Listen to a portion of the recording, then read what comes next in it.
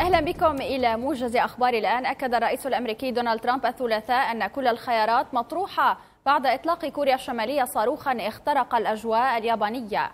وكانت الولايات المتحدة واليابان وكوريا الجنوبية قد طلبت من مجلس الأمن أن يعقد جلسة لتدارس إطلاق كوريا الشمالية للصاروخ وفق ما ذكرت رويترز.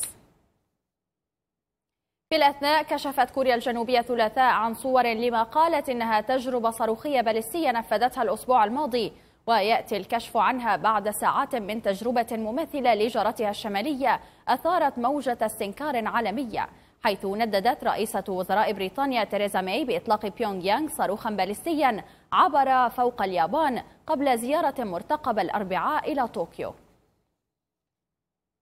قال الرئيس الفرنسي إيمانويل ماكرون الثلاثاء إن مجموعة اتصال جديدة بشأن سوريا ستعقد اجتماعا في الأمم المتحدة في أيلول سبتمبر دون ذكر مزيد من التفاصيل.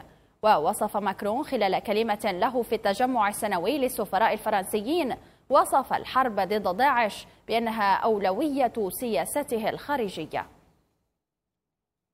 قررت الولايات المتحدة الأمريكية والجمهورية العراقية منح مسؤول مالي في تنظيم داعش. يدعى سليم مصطفى المنصور من التعامل مع نظاميهما الماليين. وقالت الخزانة الأمريكية إن المنصور ساعد في تحويل مئات الألوف من الدنانير العراقية إلى داعش في الموصل وباع نفط استخرجه التنظيم من العراق وسوريا.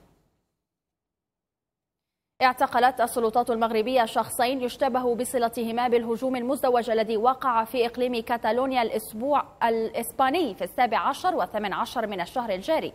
ويأتي ذلك بينما يلتقي وزير الداخلية المغربي نظيره الإسباني في مدينة الرباط وشدد كلا الوزيرين على أهمية التعاون الأمني بين البلدين لمكافحة الإرهاب.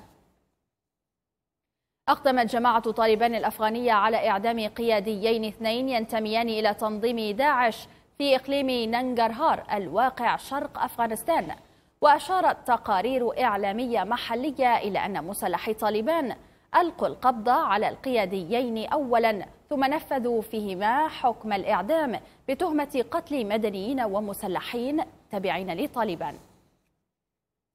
بلغ عدد الحجاج الذين وصلوا إلى المملكة العربية السعودية أكثر من مليون وثمانمائة ألف حاج حتى ظهر الثلاثاء حيث أعلنت وزارة الحج والعمرة عن اكتمال وصول الحجاج إلى المشاعر المقدسة.